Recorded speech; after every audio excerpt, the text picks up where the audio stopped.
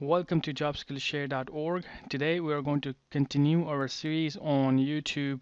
Uh, if you go to YouTube and search JobSkillshare and then look for the playlist and then make IT job easy with tools, this go this is going to be our 11th video and you can subscribe to see more when we post it.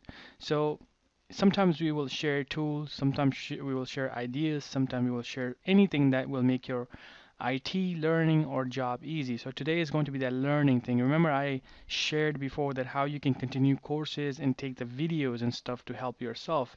But now since we have new features, that's why you want to talk about it a little bit more and not just to say, oh, you can buy this lab and all that stuff. It's actually how you can use these labs to make your learning process very easy. Now when you're when you're new into IT, you probably don't know, but people who are into this field these type of things were not available back in the days. So people had to go for physical stuff, people had to go for a lot of virtual stuff, people have to buy a lot of memory to do virtualizations. And people have to spend a lot of uh, money on on getting things together, and it's also noisy and things like that. And that was one of the main main factor. Some of the people basically cannot continue with this stuff because it kind of they kind of gave up basically because you have to do so much, so many different things and still uh, if something breaks there was no way to restore things quickly and stuff like that. So that was the main stopping thing for people to learn in IT but now things are getting easy with these type of you know features that we are giving you guys. So one of my main goal of this video is not to actually sell the lab. It is to actually what it can do for you. So it's really up to you after that. If you want to go for it if you don't want to go for it. So let's get started. What can you achieve from this lab from your own uh, you know uh, learning? So this is what I'm going to start with. Like I like I do my videos in a real world. So this is the real world scenario that I'm just showing you right now. And let's see what type of jobs um, are available outside with some of the well-known uh, skills that you need for IT job, right? So simply type uh, help desk, and I'm just gonna type Hyper-V right there. So if I type Hyper-V, you can see right here, and I have not even some of them maybe I clicked on it but look I did not click on all these none of these links. And some of them are coming up with help desk Windows Administrator. So if I click on help desk Windows Administrator just look at what they are asking. Hyper-V two years of experience in Hyper-V. Now don't worry about these years. Like I said in many many of my videos Now don't worry about these ears because like I said in many of my videos that sometimes people will let go of the ears as long as you know the hands-on stuff. So look at this. Help this Windows System Administrator needs to know about Hyper-V, needs to know about SCCM, needs to know about WDS, needs to know about PDQ deploy. This is the thing that we covered usually. Ticketing system um, and some other things right here um, Hyper-V again, CCM and all that stuff is again in there. But if I go back again and unless I type something else with it, like uh, VMware. So if I type VMware, you can see again help desk positions in that with that term will come up. So if I click on it and basically this pe these people right here are asking a little bit more from a help desk, but I can see that there are some VMware stuff in there somewhere. So that's why it's coming. GPO, group policy, uh, and uh, some other things like Cisco devices need to know how to access Cisco devices, show interface, and they're, they're saying that you should be able to do this kind of basic stuff on these things. And if I click on this one, um, let's say what they are asking. Uh, as, as, you can see, they don't have too much on it skills, but yeah, let's see, let's go down. So yeah, they, they, they don't put too much, too much uh, like you know what what they're expecting you to do and all that, but they don't put too many uh, VMware kind of stuff. But you can do always like if you do search term, you can do Control F and type VMware, and you can see it just pop up right there. So they're asking you to know about VMware. They're asking you to know about certification in Microsoft. They're asking you to know a little bit about A and it, the main idea of this video is to show you right now that jobs are available outside and they're putting these skills into their job terms. So how would you kind of, you know, go to interview and then talk about it when you don't even have hands-on practice? Of course, you can watch videos on YouTube and things like that, but at some point you have to let go of that and you really need to get on the the, the hands-on side. So some people prefer to just buy things and that that's where I said that was the old way, but now people are actually going for labs like this. So when you go to this site, you click on this little lab uh, green icon. It will you will take it will take you right here. And I, I suggest you go for full access. The reason is that I'm going to jump around to different things that I just showed you guys. And that was just a few things. So once you get to the labs, you have a full access. Then you can see you have Cisco devices right here, so you can work on that. And Cisco is pretty normal. You know, if I click on it, you're going to see routers and switches, and that's like, you know, you just follow uh, that.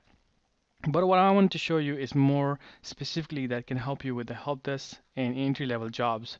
And that's going to be definitely the Cisco and routers, just the basic stuff, you know, just to log in and all that.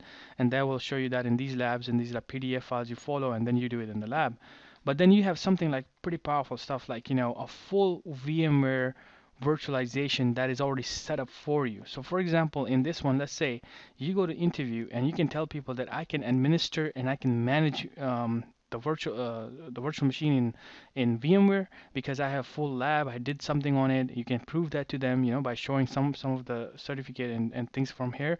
If you click on it, you can see what you can do with it. You look at how much you can get with these labs.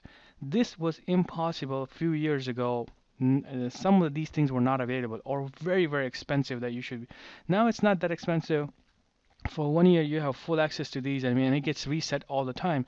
So when you finish with your labs in 90 minutes, and you can auto, uh, you when you when it goes to like let's say 10 minutes, you can put it back to 90 minutes as long as you don't let it log out. So you can practice on it again and again, again and again, and once you restart, everything goes back to uh, day one fresh.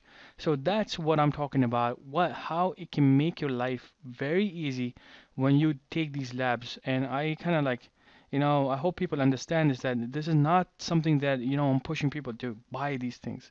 It is. I've been doing this for last five years, and people can search my my channel and they can go back to my old videos they're five to four years old and none of this was available so what I had to do before I had to basically show people how to install ISO on the server and then I would get stuck somewhere and I would not able I was not able to continue my courses at some point why the reason is that because I didn't have that kind of resources that you see it over here. Like for example, some of the things are license based, like vCenters. Now, of course, you can go for trial and stuff like that, but it's a lot of work as a trainer. You know, I hope another trainer will come in here and just kind of maybe support this comment right here that it is so hard to create videos and keep them up to date that the reason is that you cannot go back and redo these things that you have already created. It's not easy. So you needed something like this for your own practice and your own training also. When you have ability like this where you can go and just open a VMware like this a server that is already a domain controller then you have a VC like um, the vCenter right there that connection. then you have all the the host right here all the diagrams right here all the PDF right here in, in this session you keep doing that and that's where you do your certification certification, that's where you do your real practice on. So you can follow this PDF to finish your certification, but at the same time, you can come into these labs and actually log into the vCenter and all these uh, VMware stuff and then actually do something in these labs. Like, you know, I work on like uh, taking a snapshot, uh, copying a virtual machine. That's something that we do on a daily basis. So that is something that's my goal in the future that I'm going to be covering videos on top of these but that's going to take a lot of time again. I mean, imagine if I had to take videos on each, uh, you know, skill like a VMware and stuff like that. It's to be uh, it's to be a good time for. So I suggest you guys to really take take benefit of these labs and um, use it because, like I said, this is only VMware. So you cover that one skill, that VMware stuff right there somewhere right? If I basically go into this lab and look for now, let's say for example, I want to cover something about Hyper-V. So you can basically do some some of the Hyper-V stuff, like you know how to manage Hyper-V and all that kind of stuff. So you can you don't have to follow the whole lab and the whole certification path. You can just do what is important to you as a help desk person, where you can at least go and talk to people that at least I know how to manage this stuff. I know how to do virtualization. Eh, on a Hyper-V, on a VMware, on the other skills that are provided in these labs. So that was the video for you today because it does, uh, the reason I added to this section because it is one of the things to make your job easy and make your learning easy.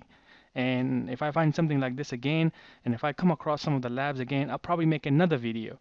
The reason I'm making these videos is to make it easy for people to do specific things. So today the specific thing was to to explain that to you that people are using these terms in even in help desk positions. So you don't have the ability to learn it that way quickly because you don't understand how these things are done, how these things are created. So that's why you need to just come to the labs and just do it as how you're going to be doing at work.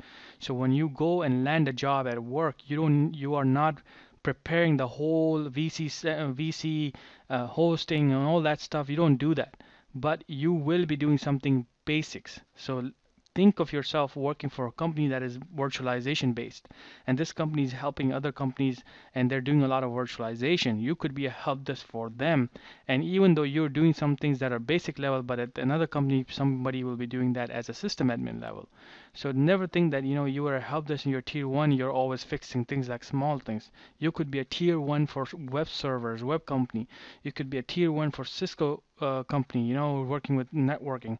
You could be a, a tier one for servers uh, company, like where people are providing server infrastructure type of resources. So that's what I'm saying. You know, you need to take advantage of these labs. Thank you. If you're interested, make sure you go to that link and get the lab. If you are having issues, then just comment and I will reply back. Thank you.